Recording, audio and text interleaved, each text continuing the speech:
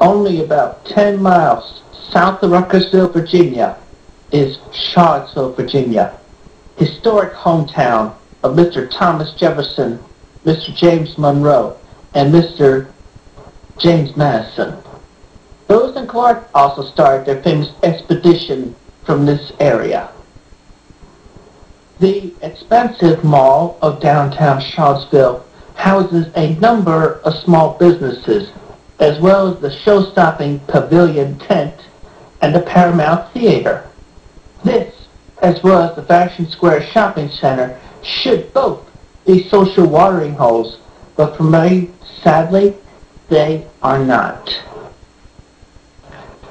Anywhere herein, even including the bars and events like Fridays after 5, nobody will even look or say hello to me.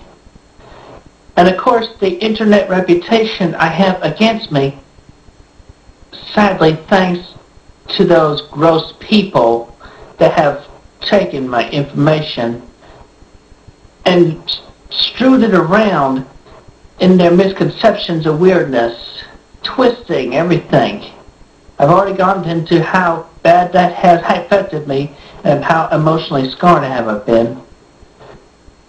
Back to social life, the autism increases my shyness, so I hardly have even the basic instinct to just say hello to anyone or even open up so easily with trust.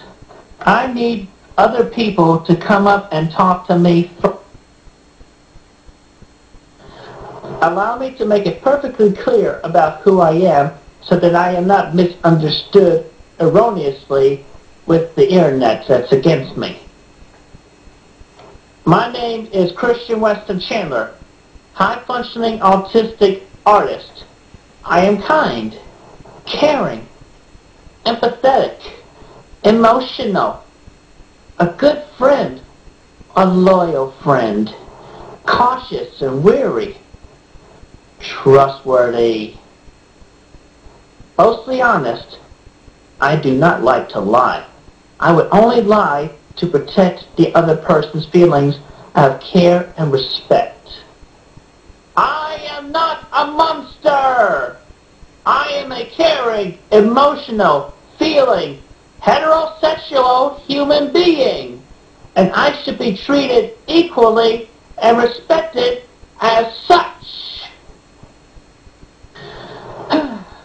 Sadly, back here in real life, everyone is in their own dang world.